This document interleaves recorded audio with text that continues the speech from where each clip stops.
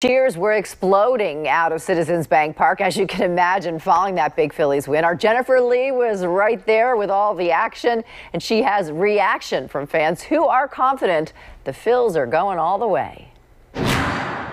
Phillies fans are stoked after the team won this division series against the Braves 3 to 1, but the good vibes, they kicked off hours before this game.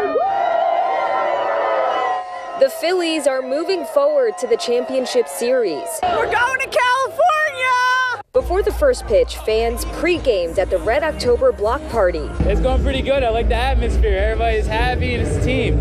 The views from up top, this Ferris wheel, they are amazing. Right outside Citizens Bank Park, it was one of the free attractions for all fans. I'm really excited to be here. This is my first playoff game ever.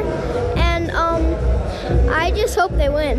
It's been 11 years since we've been here, so it's like I'm excited. Everybody's excited. Let's go Phillies! The Phils got ahead, never letting the Braves catch up, clinching the series in Game Four to the roars of celebration. Once we got that lead, I knew, I knew we had it, and we're going. We're going. We're going. We're going to the